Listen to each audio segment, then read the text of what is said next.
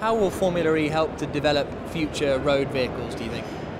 Well, Formula E will be, or we want it to be, the platform where uh, technologies on electric mobility, on electric vehicles are developed. Batteries, motors, charging, those technologies are the ones that we want to experiment with, we want the companies to introduce in the championship, and then for those to introduce those technologies in the road cars. I think that's actually one of the purposes of a championship like this, is it showcases EV technology, takes it to a public, takes it to a new public actually because we're operating in city centres and shows them the capability of electric vehicles. And I think because it's a competitive environment, as in racing, we will drive forward the technology naturally because when people compete in motorsport, they want to beat other people, and so that will drive the technology further. And then we'll see the knock on effect of that into the automotive arena.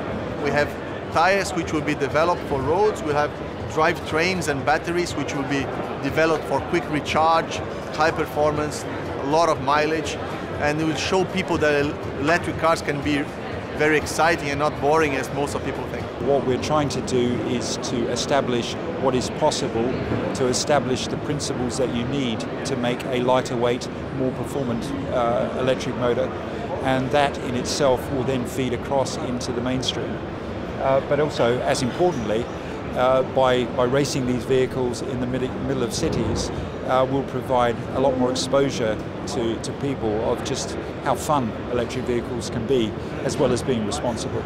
The format of the race uh, will be happening in cities, and I do very much believe into electric uh, energy uh, for cities. So it's a, it's a very good message of a transfer of uh, technology for racing to mobility and from mobility to racing. And of course, I want to use uh, this championship also to promote road safety all around the world.